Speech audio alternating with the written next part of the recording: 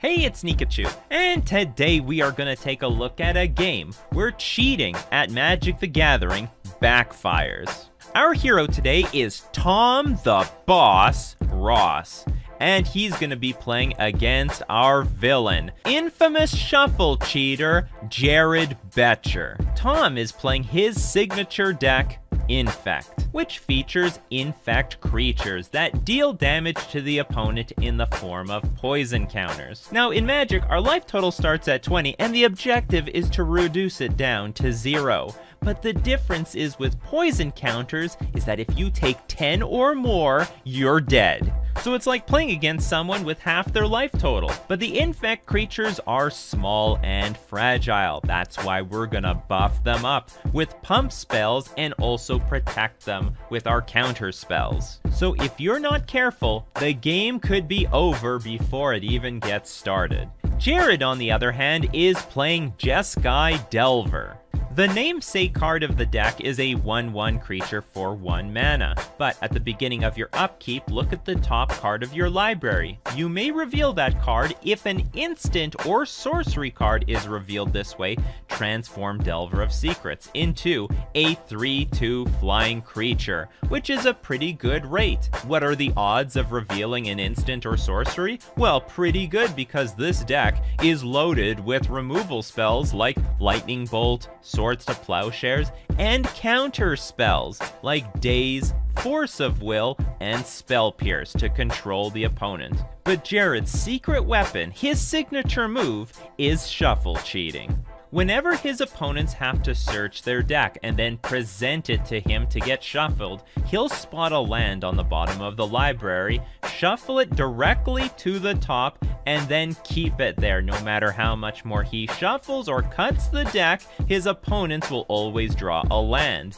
The idea is if his opponents draw too many lands and not enough spells to play, they'll lose because they'll run out of things to do. So can Jared Boettcher scum another opponent to victory, or will this just be another day in the office for Tom the Boss Ross? Let's take a look at the action. An X. He's used to playing around all the stuff. He knows all their tricks. It's all straightforward. A lot of people play Delver. Not a lot of people play Infect. I can't imagine that Jared has much practice against this deck. He's going to start things off with the Delver of Secrets off of Volcanic Island. Tom will draw a card for the turn. You can see he has a Glistener Elf in his hand already. A couple copies of Blight Agent as well. It's always a delight to watch Ross kind of bob and weave around these removal spells and get the job done. He's done it before. We'll see if he can do it again. As he does start off with the 1-1 Infect creature that will get countered via Daze. Yeah, sometimes that's all you need with this Delver deck is to stop their one threat and leave them with a bunch of semi-useless pump spells in their hand. So both players had their ideal starts. Jared comes out of the gates with the Delver of Secrets. Tom, on the other hand, replies with the Glistener Elf. However, the Delver deck always punishes you for being light on mana. Jared returned his Tropical Island back to his hand to play the alternate casting cost on Daze, which says counter target spell unless its controller pays one. Tom Ross is tapped out, so goodbye Glistener Elf. Jared then takes his turn, reveals Daze on top of his library to flip his Delver of Secrets into a 3-2 flying Insectile Aberration. A perfect start for the Delver player, but Tom now knows that Daze is in Jared's hand, and he will be playing accordingly. And especially if you have a Delver of Secrets on turn one, especially if it transforms on turn two naturally, uh, you, you definitely have everything you need to just take a commanding lead in the game. And Insectile Aberration does show up. It gets into the red zone. Ross is already down to 17. Boettcher revealed a Daze, so Tom is going to have to play around that Daze. Tom will play a Forest. This is another copy of Glistener Elf to try to play around Daze to the best of his ability. Looks like that's going to work out. So Boettcher will untap and draw here. Picks up a copy of Forcibly. You see a Misty Rainforest in his hand. He can play that as a second land if he'd like, and he will. He'd like to attack first. Maybe cast that lightning bolt in, that is in his hand, but he will serve in for three here. Put Ross down to 14. You see Tom in his hand. He's got a spell pierce and invigorate hanging out over there. Boettcher will go with lightning bolt to try to get the glistener up off the table, and Tom says that's fine. Yeah, spell pierce not much help here when he knows that Jared has a daze. Doesn't really want to walk into that. He could have used the invigorate, but I do like saving that when you already have a few other creatures in your hand, whereas you don't have a lot of pump spells. Now, creatures, something Tom has plenty of. Right. Uh, I believe he has two Blight Agents, and he just drew a copy of Inkmoth Nexus, so creatures don't look to be much of a problem here. But he is under the gun. He is being attacked for three damage a turn, Yep. so he just have to be a little bit wary of that. And of course, Lightning Bolts will give Boettcher some reach if he does find another one of those. Now, Tom is going to play Inkmoth Nexus. He's going to deploy a Blighted Agent again, playing around Daze here. We'll see if Boettcher has some interest in maybe casting Force of Will. You can see in Jared's hand around, he does have his Batterskull, but that's not going to be very useful this game. No, both a little too slow and the lifelink not incredibly relevant. Boettcher kind of giving this a long thought, I think, on if he's supposed to Force of Will this or not.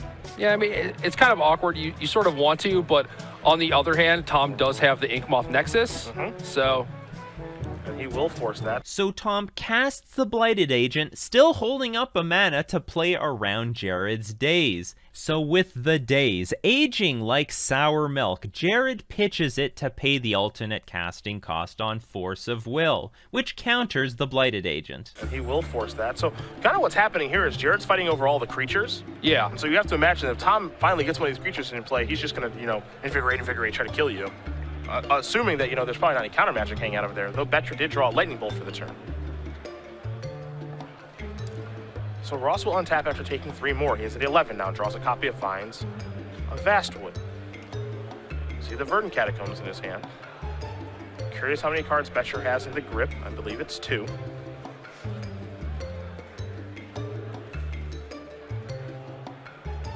Yeah, you kind of see the power of the Infect deck here where Tom could go for nine poison right now. Yep. And even after getting his first three threats dealt with. I mean, if he did that, he would walk into Daze. And, well, I guess he force a will to away the Daze. Yeah, but- the Daze is actually gone. He doesn't have to worry about that now. Yeah, Doesn't mean there's not another one hiding out in Boettcher's hand. Right. I definitely understand what you're saying there. Gonna go get a Trop, go down to 10 to get that. yeah. Just this inf- this infect deck is a little bit more resilient than you might otherwise think. It's like, oh well, you know, just kill their first couple creatures and you're fine. And Jared, to his credit, has had a pretty good draw, has navigated out of the early game pretty well, and Tom still has a lot going on. It's a Blighted Agent. Uh, what I want to see here is if Tom is gonna fire up this Inkmoth Nexus to try to sneak a point in. I think that's pretty good, especially since he has eight points of pump in his hand. Uh, if if the Nexus gets in there for a point, next turn it's relatively safe to go in with Blighted Agent for nine, especially with Spell Pierce backup. He's moving in. Boettcher says, I'll take one Infect right now. We could have seen a Lightning Bolt on the Inkmoth Nexus. Makes things a little bit interesting as Tom's gonna get out his own Yeah. token. Love it. That's that's pretty good. And says, I got one on you. Gotta get nine more. Boettcher draws a copy of Delver of Secrets. His hand again, he's got a Batterskull, he's got a Bolt.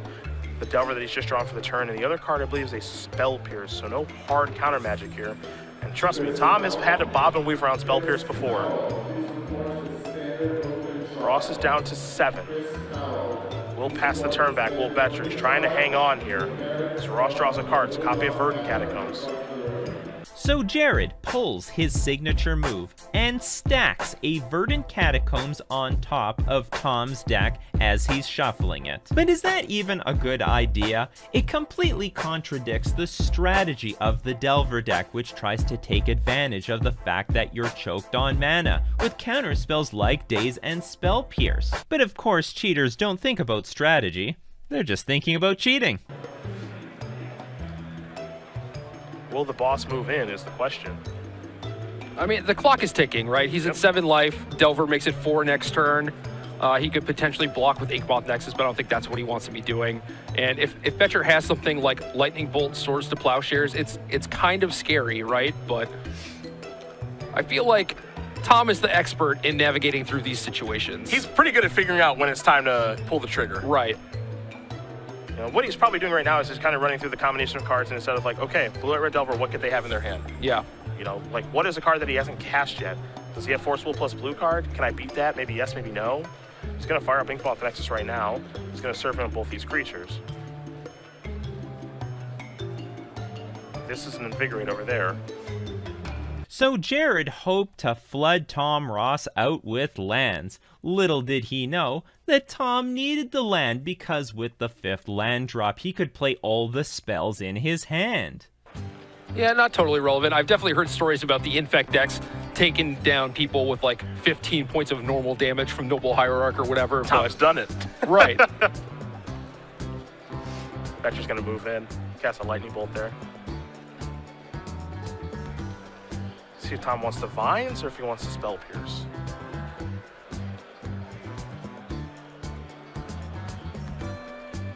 It's very important how he sequences these.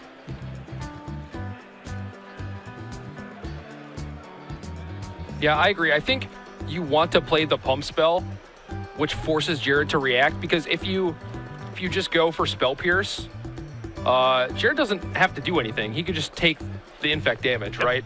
Uh, whereas if you go for vines on the creature that you're also invigorating, if he has a Swords to Plowshares, then he has to use it, and then you can potentially just win the game on the spot with a spell pierce. Really smart to sack the fetch land first before making a move, because let's say that Tom does cast, you know, this vines and he has a fetch land available, Jared fights over it, and then when Tom tries to crack his fetch land, daze happens. So if all these pump spells resolve, Tom is attacking for exactly 10 poison. Right. You know, so it's really, really smart that he sacked the fetch land first, and then says, all right, I'm gonna vines this in response. Now Jared's gonna sack his fetch land. Yeah, I mean, it, it could also be like a stifle or something. Yep. You know, like Tom wants to get all the information that he can. Like, am I going to have this spell pierce available before I decide whether or not to vines? So Jared's gonna sacrifice his fetch land. He's gonna go get a Tundra. He's gonna cast his Spell Pierce. Tom is gonna look at his Spell Pierce and says, I'm gonna counter your We're, we're all in, Pierce. and that's it. Jared says, I am beat. Tom Ross works his way through a couple bolts, couple counter spells. So in absolute fear, Jared responds to the Vines of Vastwood by playing Spell Pierce. But Tom, with his last land in play, the land Jared conveniently put on top of his deck was used to pay for Spell Pierce. To counter Jared's Spell Pierce. The boss won the War of the Stack and killed Jared for 10 poison. Jared Boettcher scoops it up. I betcha he didn't see that one coming. This game would go down as a literal example of a cheater cheating themselves. Congratulations, you played yourself. Well, that's my video for today. What was your favorite part of this game? Let me know in the comments section below. Smash like for cheaters getting destroyed, and don't forget to subscribe to my channel, or your next starting hand will be 7 lands.